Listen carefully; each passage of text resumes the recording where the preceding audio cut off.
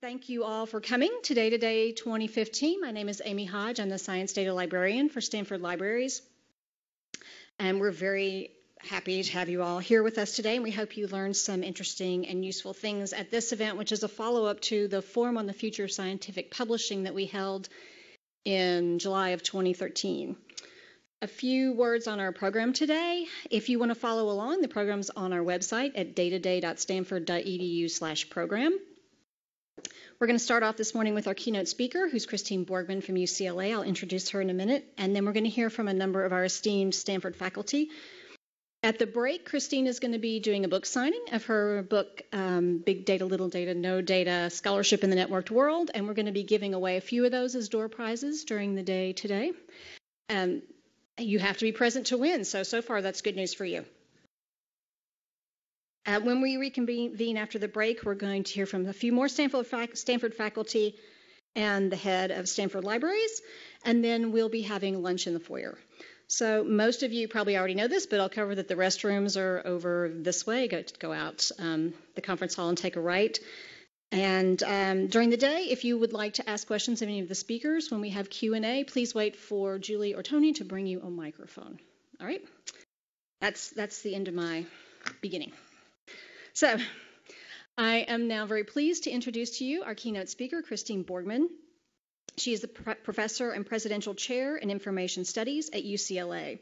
She's the author of more than 200 publications in information studies, computer science, and communication. Her newest book, Big Data, Little Data, No Data Scholarship in the Networked World, was published in, by MIT Press in January. You can read more complete bio for Christine and all of today's speakers on our website at dataday.stanford.edu slash speakers. Christine will be talking with us today about why data sharing and reuse are so difficult. Christine. Thank you. Uh, Amy was in Amsterdam in September when I keynoted the Research Data Alliance meeting and came up to me afterward and said, Can we get you to come to Stanford? And I said, It's my alma mater. How can I not come to Stanford? Um, although I must say, I get up here every year or two, and the um, number of buildings on this campus since I was a graduate student about 30 years ago is quite remarkably a different flavor in, uh, in the place since. Uh, but it's also exciting to be here given how active Stanford has become. I mean, particularly since Michael Keller's been here and, you know, establishing uh, the Highwire Press and the repositories. And you folks really are on the leading edge, certainly the bleeding edge of dealing with some of these issues around data sharing, reuse, and, uh, and so on.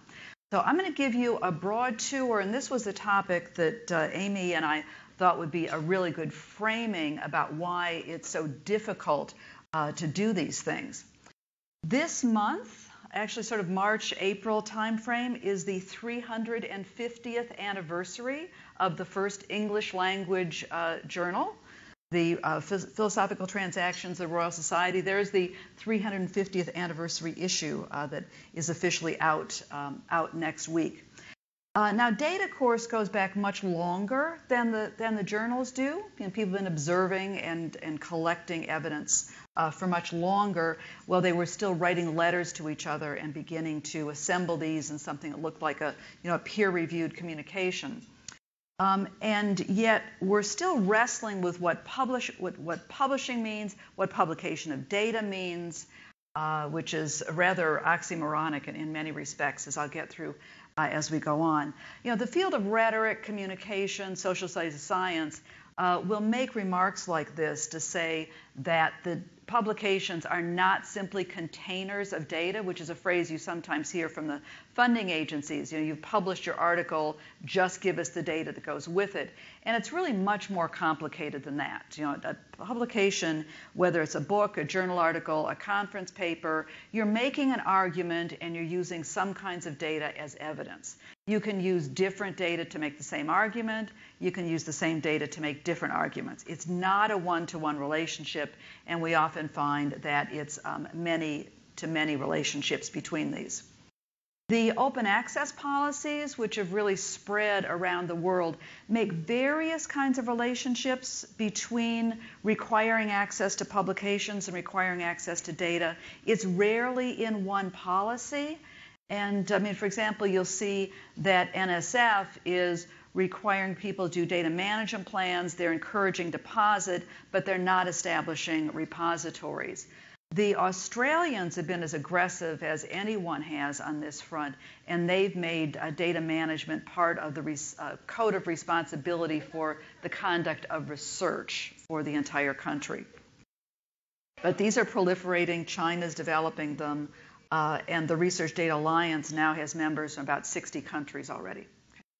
So this, of the many things that uh, could be covered, this is what uh, you know what I've come up with in, in this uh, book, most of which I wrote at, um, at Oxford in 2012 uh, 13, but drawing on about 15 years of work of really socio-technical work in the field in a number of different sciences and work in the social sciences and the humanities as well, is to devote an entire chapter to the notion of data and part of what I want to convince you today that the issue is not so much big data, is thinking about what are data and the changing notions of data in the context of scholarship across all fields.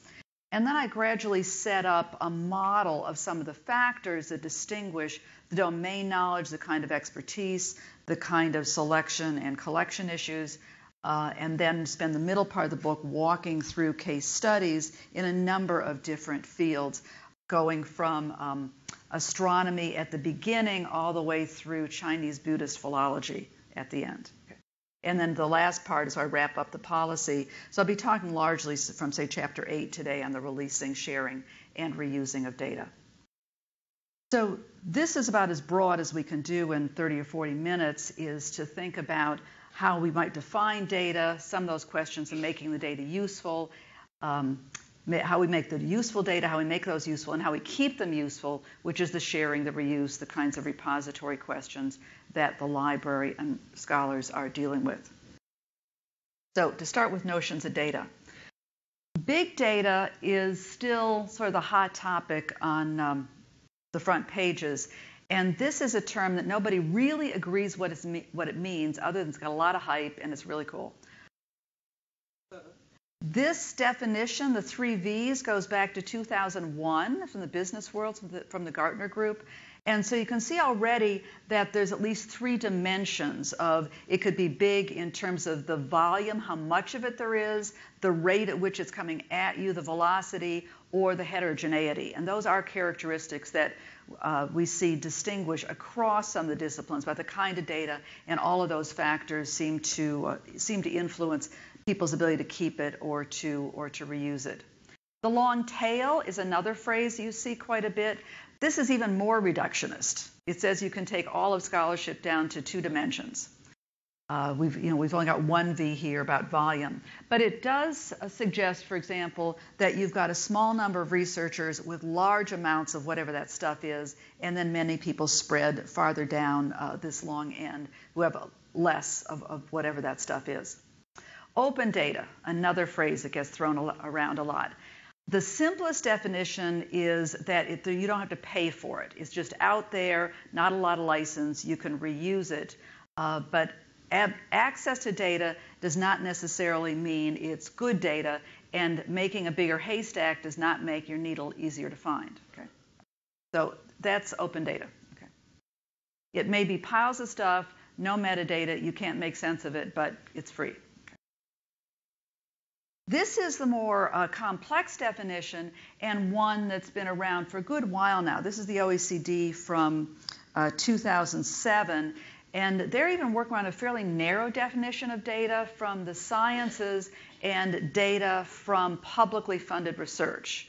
So the OECD definition says to be open data uh, within that constraint, it needs to satisfy all of these things. Now, the intersection of all of those is the null set, as someone said. Okay. You, go, you, you may be able to strive for some of those, but actually making data releasable in such a way that it satisfies all of the definitions of intellectual property, uh, the responsibility in different domains, quality, security, efficiency, accountability is going to be difficult. So you're going to have to pick some of those and decide uh, what, what's important. What most of these issues come down to is a lack of agreement on what are data in the first place. When you start peeling back the layers of those policies, whether they're from the funding agencies, the journals, or whatever, rarely will you find a very explicit definition of data. Usually it's sort of in the eyes of the beholder, whatever you consider to be data is what we want. And it, so you end up with this problem of are we looking for the final published version? Are we looking for the data set that you submitted at the point that you sent the first draft into the journal? Uh, do you want the spreadsheet? Do you want the protocols? Do you want the calibration? You know, what are we really talking about here when you say releasing the data? When you look at these objects on the screen, what are you seeing? When you see a mouse, are you seeing a model organism? Are you seeing something you put in a cage and watch the behavior as it moves around? Are you thinking about something that you can sacrifice and look at the slides? It's what you do with it when it becomes the data. Similarly, the Pisa Griffin, which is one of the case studies I have, this is an object that was sitting in plain sight on top of the Pisa Duomo for about 400 years, and they're still trying to decide what it is. Okay. It may have been made in uh, Italy, in Spain, or in Egypt. They've traced the metals to a particular mine in Cyprus. It may have been a Christian object, it may have been an Islamic object. They're not even sure what pieces of it got added when. So it's many kinds of data to, to many people working on it. So this is the definition where I ended up, is to say that it's, it's not stuff, it's not objects. It, something becomes data when you use it. It's, it's a very process-oriented definition. And this is the reason that one person's signal is often someone else's noise that it's, it's so hard to keep, decide exactly what it is you're keeping. So it's the representations, and it's when you choose to use them as evidence for your research that they become data. Okay. Hard to pin down beyond that. So how do we make um, how do we make useful data? We've been working with the Sloan Digital Sky Survey for um, six or eight years now, and uh, been working in sensor networks since about uh, 2002. And I was one of the co-PIs of the Center for Embedded Network Sensing for the 10 years of that NSF Science Technology Center that was based at uh, based at UCLA. And these are nice contrasts in terms of your, your big science and your more more small kind of science. That I'll, I'll walk you through a couple of cases here. Um, but first, to back up to this uh, infamous 2008 um, issue of Wired magazine uh, when, by Chris Anderson. And this was at the, so the early, really biggest hype of big data saying uh, now it's all numbers, it's all about correlations. If you have enough numbers, you don't need theory, you don't need method. It's just, you know, come back later and mine it. And that's certainly not what we're seeing in any of the research that we do. Science continues to be about models and about theories.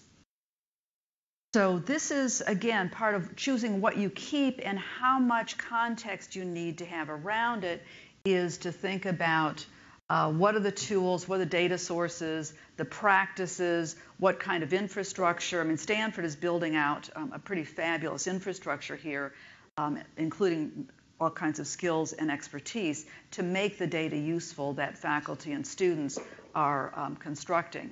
But you know, all of science, all of scholarship, you're starting with some kind of model, some kind of theory. So to pick up somebody's string of numbers um, a day later, a month later, a decade later, if you don't know what that set of assumptions was, what those protocols were, it's very hard really to interpret interpret them and get, uh, get good value out of them farther down the line. This is a model that we did of a scientific life cycle specific to the embedded sensing work. Now, you know, every different set of science, may, oh, science, social science, humanities, will have its own kind of model of how you work through things. But a couple of things to point out here. One is that it's specific to embedded sensor networks. Second, this is a model we build of trying to develop object reuse and exchange, a particular World Wide Web standard, to figure out how you can do semantic relationships between the various objects that get thrown off in the course of research. Third is to notice these big chunks. We at least divided up the, the research process into you know, the experimental design phases, the data cleaning uh, phases, and the publication and preservation. But there's many, many artifacts to get thrown out, and then we were trying to build relationships, build the links, get the context, say how can you publish this entire set of relationships in such a way that other people can use it again.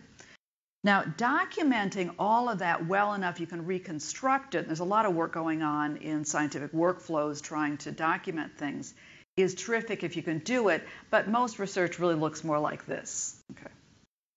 Lots, lots, lots of dead ends, lots of blind, blind alleys, lots of different paths.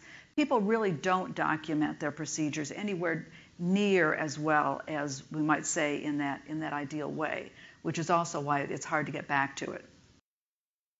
In comparing the, so the big science, little science, and this is, you know, this is an admittedly forced dichotomy. You can't, again, you can't get all scholarship into, into two different groups. And these five, uh, five or six points of comparison are only a few of ones that have been developed, say, in social studies of science, that uh, we can distinguish sort of large groups of activity by um, how much investment they make in instruments, what the overall cost is, how long the duration of uh, studies is, the number of people involved, how distributed the work is. But we always need some kind of domain expertise, no matter what kind of what kind of work that we're doing. The Sloan Digital Sky Survey, like other big astronomy projects, was a decade or so, um, you know, even, you know, even much longer if you consider how long it takes to get the groups organized, to make the pitch, to go through the dec- decadal uh, reviews of setting priorities for the funding agencies.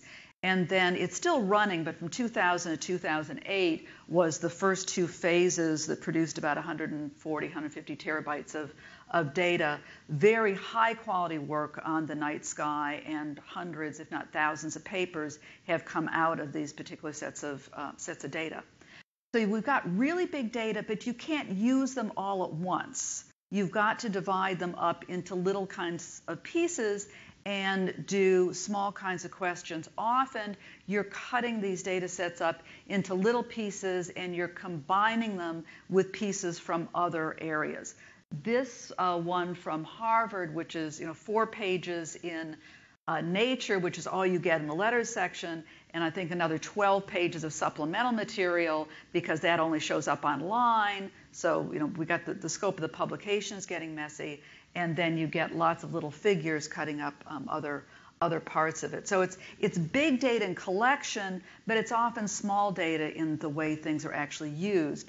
So here goes the question of the, you know, the main data set, the 150 terabytes, that's being preserved pretty much. Um, but the derived data that comes out of it gets combined, there's often no place to put that back again. That's the kind of thing that may end up back in the library, it may end up in someplace else, or it may end up um, just disappearing altogether. Uh, CENS, again, that we worked with for a very long time, looks like pretty big science when you figure, you know, somewhere between 60 and 100 million dollars went into this over the course of a decade. Large numbers of people, highly distributed, but small science, uh, small science in character. We're putting uh, different kinds of sensor technology in the earth, in the field, in the sky, replacing graduate students climbing up in trees and dipping water with stopwatches out of, out of rivers and things. Um, and doing, you know, it's a really very interesting work. But one of the things that we found, there was a real signal and noise mix. People would go out in the field together and take home very different things of what they assumed to be the data. And, and they could never be brought back together again later. So, just for example, the engineering researchers were concerned about the stability of the instrumentation. And if they could compare today's measurement to yesterday's measurement to last week's measurement and from one device to the next, then they had data and things were working well. So one of our engineers says, you know, temperature's temperature. They're working in a swimming pool with some of their robots. Biologist, same team completely different orientation, does not trust the numbers that are coming from the engineers, and it's not that either one's right or wrong, it's they have a different orientation, a different point of reference. The biologists are concerned about the calibration relative to international standards for the way that biology is done. This particular fellow took uh, three different temperature instruments, put them side by side in isolated national reserve, let them run for 365 days before he could trust the instruments. Very different notions of, of what are the data. I mean, we see this all over the place, and even things like um, Southern California and water quality. You want you know, a certain level of measurement if you're talking about drinking water, and yet the surfers are doing some very interesting uh, daily work about whether it's safe to surf. You don't want to lose that, but it's, you know, it's valid for different purposes. And we see this all over the place. If you want to look in social sciences, I picked this one because I particularly like the, um, the title of the paper about who's, who's really happy. Okay. But you, you, know, you, need, you can't just go out and interview people on the streets and say, Are you happy? You, you know, you've got to have a model You've got to have a theory. You've got to set a set of questions. If you're going to interpret these and use them again, you need to know a whole lot about exactly how that was constructed. And again, the, my uh, Pisa Griffin, uh, the person that uh, introduced me to this project is the archaeometallurgist working on it, uh, who is equally trained in archaeology and metallurgy. And he finds, so he's the one who can take the samples from the inside of this beast and get the complete composition of them. He's doing nanoscale modeling, sub nanoscale actually. And then there's other people doing elaborate 3D X ray modeling. They've got terabytes of data on this object. So what looked like you know, sort of small humanities research has become very big science work. But he's also finding that what he needs to trace the history of those metals is only in the conservation records, and that's not what museums make public. He's traveling around the world working in dusty paper archives, talking to his friends who he knows has the stuff. Very personal relationships to trace the history of this, uh, to do the metallurgy work. Um, thirdly, around making, um, making data useful. We're back to our, uh, our big haystack. You know, can we chew up that haystack and put it through some kind of machine and make it, uh, make it useful? This is as good um, a list as any. Again, the Australians have been very active in this area, the Australian National Data Service, of saying um, why is it that we should manage data and arguing about better data equals better research. And if you manage it better, you're going to get more integrity in your own research.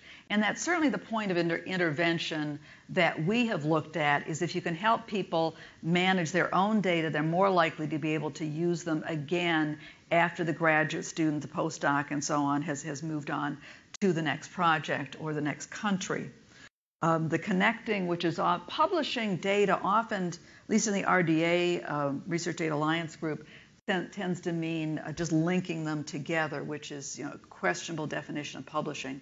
But to make them more discoverable means you've got to describe them in ways you can anticipate future use, uh, which is also challenging, and that you could reuse them to verify claims and to go back and find early observations, like we we're talking about uh, Roy's videotapes that were lost from the 1970s because it was just way too expensive to convert them.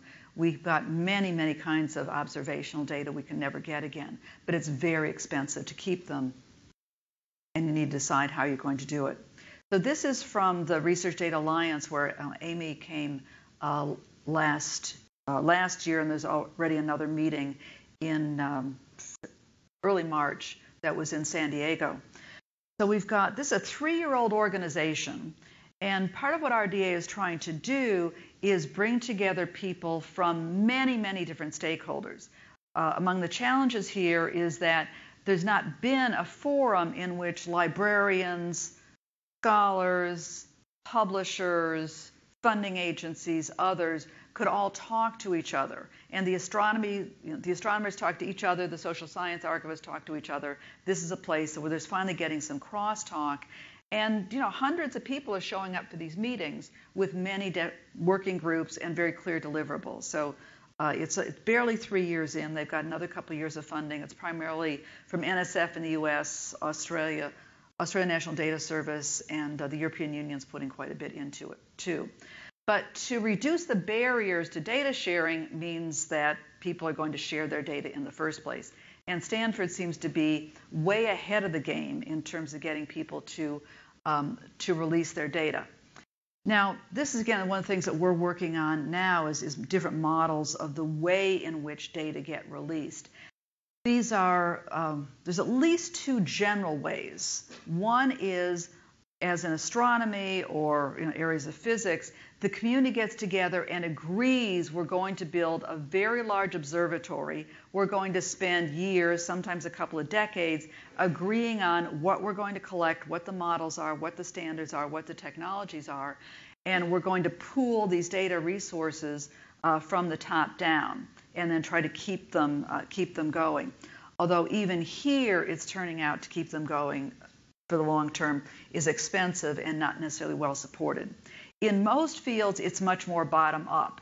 And whether those resources end up in the Protein Data Bank or in ICPSR at Ann Arbor for the social sciences, it's survey data, uh, they're, they're pooled later, which is very difficult to do because now you've got to agree on standards and practices and merging things that are not necessarily compatible with, with each other.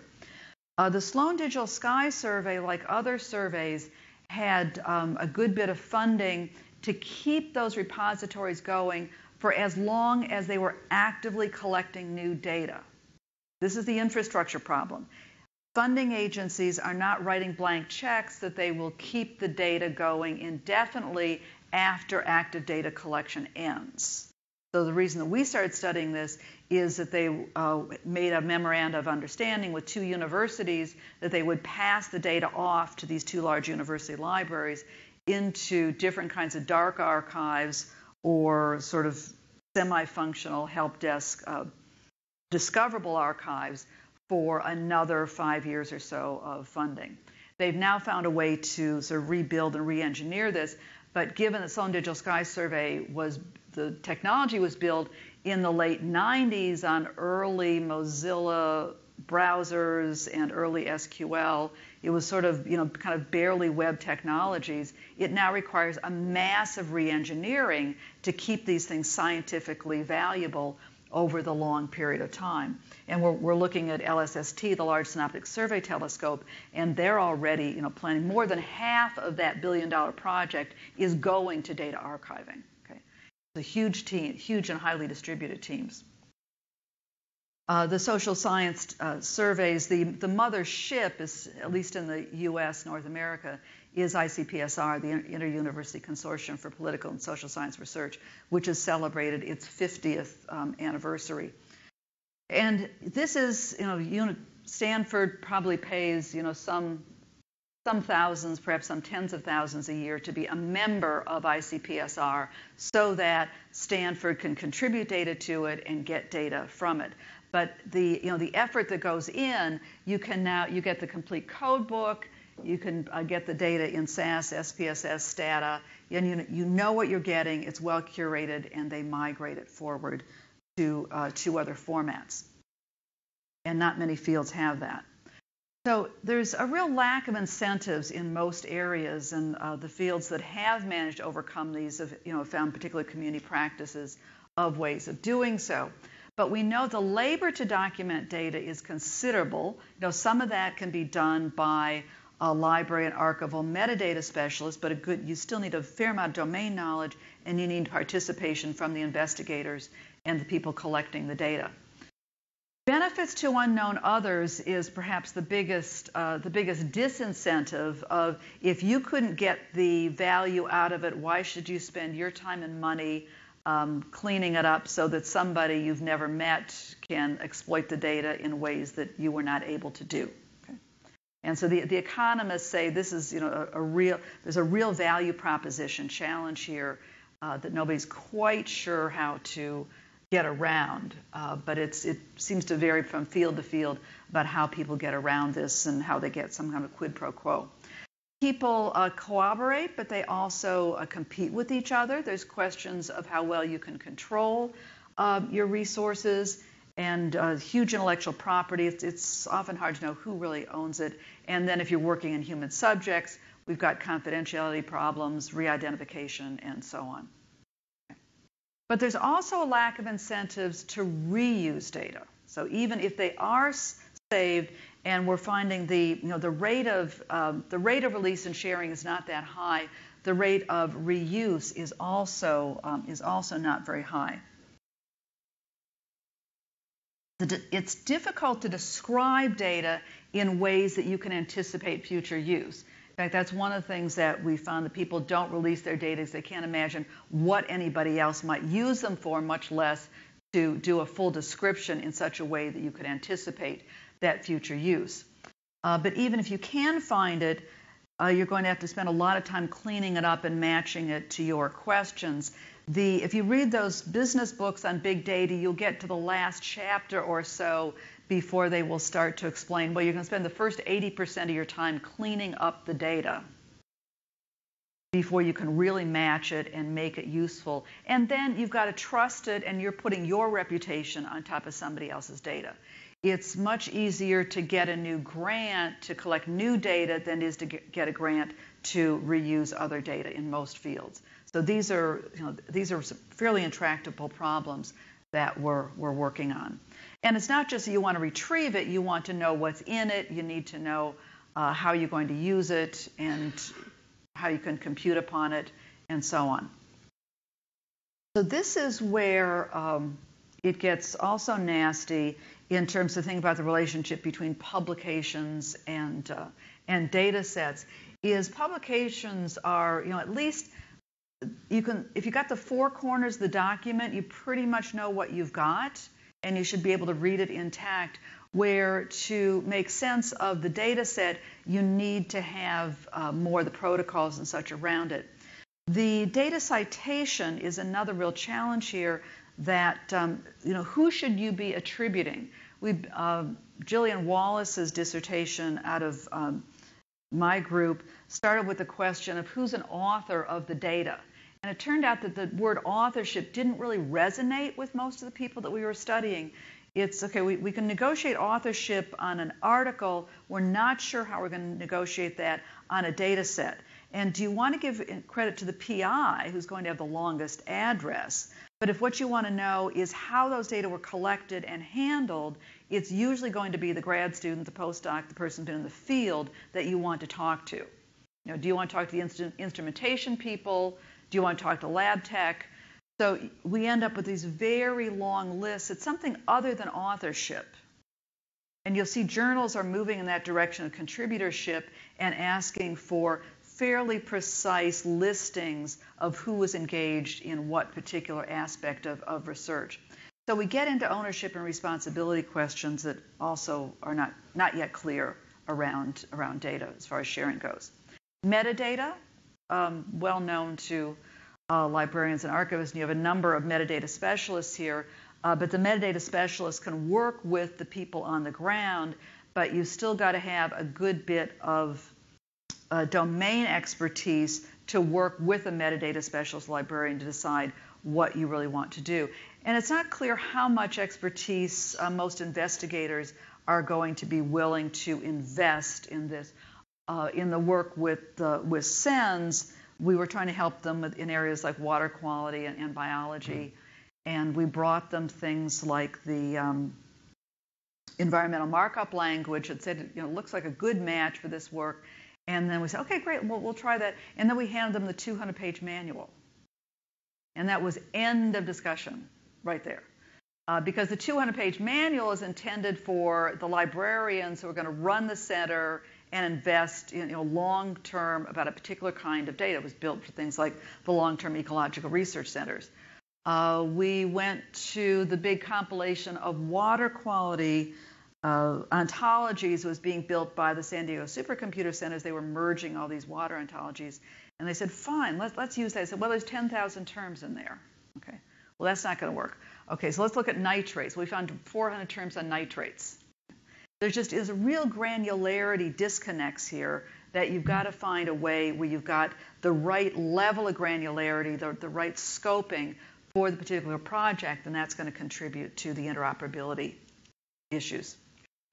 Um, similarly, provenance is something that libraries, museums, archives are familiar with, and it's, I mean, it's difficult even for physical objects. You think about things like the, the Pisa griffin. Know, we can say it's, you know, it's been on top of the Duomo for 400 years. But where it came from, you know, where that physical object came from before that is not always easy to say. You know, the Getty is having its, its wonderful, um, you know, wars with Italy about what it's going to give back, and the, you know, Cranachs and the um, Norton Simon.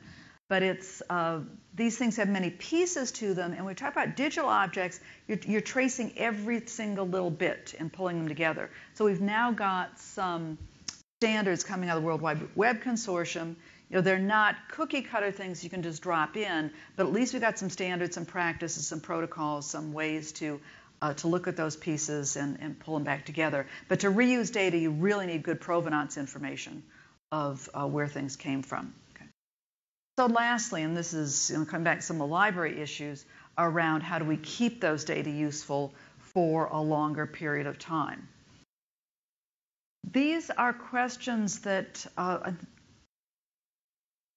probably librarians and archivists have asked for a long time. Archivists like to say that their users haven't been born yet. Okay. We're a long way from saying that around digital data. So, are we talking about trying to keep these useful for five years, for 10 years, or for several decades? And the, or, you know, I think the farther down this list you go, the more, you know, the more labor we're talking, and the bigger the investment. So each community needs to think through what level of investment, who's the audience going to be, and, um, and for how long. Also, most of the practices around archiving tend to focus on communities. I mean, community itself is a pretty fuzzy term. But people you know, are part of one community, they go on to another, another, another over the course of their careers. The collections may last longer than the communities that built them. And you know, the libraries, the universities are going to be the institutions that outlive the communities. So we've, we've got to figure out what the level of gov- governance and coordination is here. And who's actually going to do it and what kinds of skills. Now, and Stanford's launching later this month another big, uh, another big data initiative, and it's going to work more around the data scientist. Uh, data science is uh, one of many encompassing terms that at least the way it's usually being used, it's the labor at the at the front end of the process. And it's also being used more in the business and government and world than in the, the research world, although the big projects that the Sloan and Moore foundations are funding are also looking at data science at those earlier stages of the process. Uh, people have very strong computational statistical expertise to do the wrangling, do the cleaning, do the pipelines, do the processing as opposed to ones who come along a bit further down the line. So, you know, certainly we need this set of skills, but this is not the same set of skills that goes with the curation and the stewardship if we're going to keep them and, and make them make make them useful. So this is where um, Amy and Julie and you know, Mike's large team here are working on building those services and tools, assisting faculty with planning for data management, uh, the selection and appraisal processes, helping decide what's you know what's worth keeping and how and why and for how long. And keeping it once isn't good enough. It's a continual reappraisal and deciding you know, are these good for five years, ten years, and so on. I mean, even the climate models tend to be kept for maybe five years or so. And, and, and you reach a point where, you know, do you really want to migrate them, or has the technology and so on changed so much? It's time to just let them go and go on to the next ones.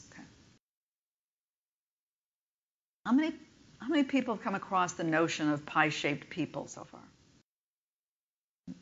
A, a couple of you. Okay. So it's it's been around for a while, but say you know what we need is scholars who are not just domain experts, but also have a fair amount of computational expertise to complement really exploiting the data in their fields. Uh, but I would argue it's now much more than that. It's there may be a third leg, and we don't. There's uh, the people at the University of Washington are talking about gamma-shaped researchers now. Uh, but we need, you know, we need to get a third leg in here somehow, where people start to think about their data as data, to think about what the value lies in it, how they can exploit it, how they can reuse it. uh, you know, we've, you know, again, we've been interviewing scientists and other scholars for, you know, 15 years or so, and you, you know, you talk to people, kind of warm them up, get a sense of their research, and then you ask them, well, so what are your data? And you get this really head-scratching response. People don't think about their data as data, as a thing, as stuff, as something that, that is has a life of its own that they should curate and maintain. So it's getting that the part of what the stages we are now is getting people much more sensitized to what to what they have and how they might be might be using it. So that takes us to the, the libraries and the knowledge infrastructures, and this is from our good colleague um, Alyssa Goodman in Harvard Astronomy, where she puts our, our Vermeer in the middle and says what you need is, is your, your publications, your library on one side, and you need your data and your tools on the other, and your literature, and have this big, beautiful piece. Um, which we, we need all of that, but it's really much messier than that. It's uh, and this is a report that we did a couple of years ago now with funding from NSF and Sloan, talking about the changing, the changing stakeholders, the changing kinds of infrastructures, uh, the unfunded mandates. You know, what part of this are universities going to pick up? Libraries, funding agencies, um, where all the different partners live, and um, and how things are going to to shake out. And this is a time we need to think about how they're going to shake out. Uh, but it, it's string, it's baling wire, it's old technology, it's new technology, it's, it's various other uh, various other pieces. Um, in the interest of time, I'm not going to discuss the economics at, in, in any depth, and you know we can certainly talk about those. And I know Mike knows the economics as well as anyone does around questions of, of governance and, and you know where the investments are, are going to be made in the sharing and the reuse. But just to note that you know, we've got large numbers of data repositories out there. This is the Directory Open Access repositories, which includes article repositories as well as data repositories. But a couple of things about this slide. One is that uh, the U.S. is less than 20% of all those repositories. The U.S. is not investing at the rate that other parts of the world, particularly Europe, are, um, is investing. Uh, and also that most of the repositories are funded themselves as three to five year grant projects. And some get renewed and some of them don't, but a whole lot of these repositories go dark. And even things like some of the, the support for data management planning tools and so on are starting to go dark. The Arts and Humanities Research Service in Britain went dark in 2008, and it really changed the you know the flavor of the community. You spend you, know, you spend years getting community buy-in, and then an archive goes dark, and it's going to take a long time to build trust back up again after people have made those kinds of investments. Um, so we need to think about how we're really going to get that that kind of buy-in. Okay. So to wrap up on um, conclusions is try to talk through the challenges of defining data and how one person's signal is, is another person's another person's noise. Uh, we need to think about making useful data. It's not just crunching numbers, it's about models and questions and methods and how we're going to bring the expertise together. Uh, to make those data useful, you need to know a lot about them.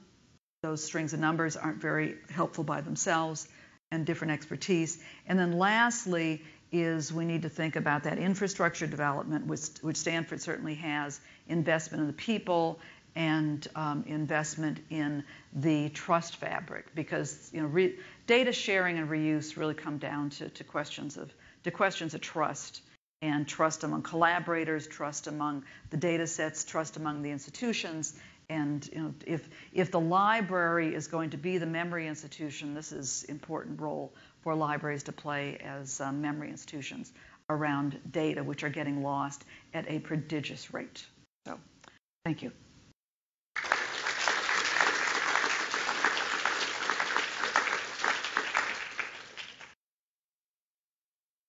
Questions? Yeah. Um, let's wait for Julie really quickly.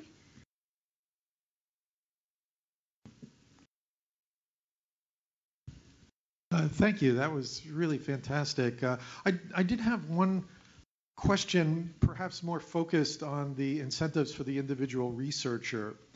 And so, for example, uh, John Ioannidis of the Stanford uh, Medical Faculty has written a paper. Most published results are, are wrong. Right. And so you figure most Stanford medical professors are writing things where they think, you know, chances are good I'm wrong in what I'm writing. In which case, the last thing I want to do is give my data to anybody else.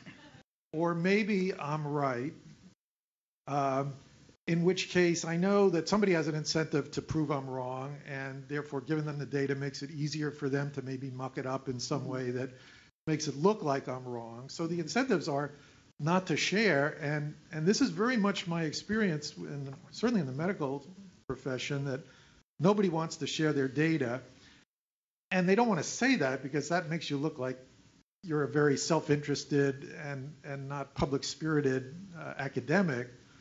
So they create a lot of other reasons why it's costly. But I think that, that the fundamental dynamic that drives it is, is that motivation. If you're an assistant professor, you want to be able to make sure that you're not proved wrong until you get tenure. Or if you're going for a prize, you want to make sure that you're not disproved until you won the prize. So the incentives are so great not to share that institutionally it seems like the the academic, uh, uh, you know, world has to create much more of a strong impetus that you don't get any credit for anything until your data is shared, and that other people get to take a look at it. So just.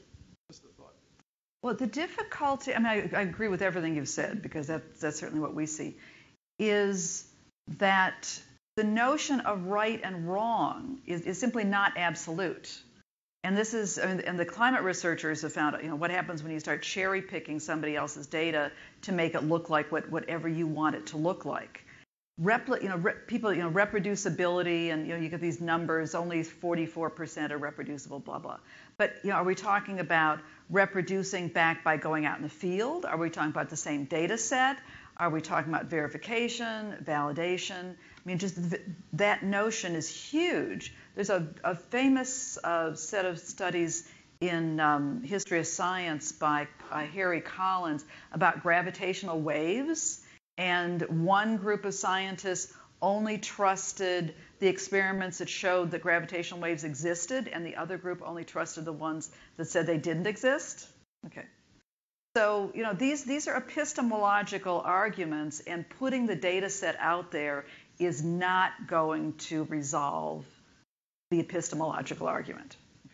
And so that, that's part of why I keep coming back to the data aren't stuff, and it's you know that, that we're, we're trying to reify them as truth, where it's much more about the argument and the way that science proceeds.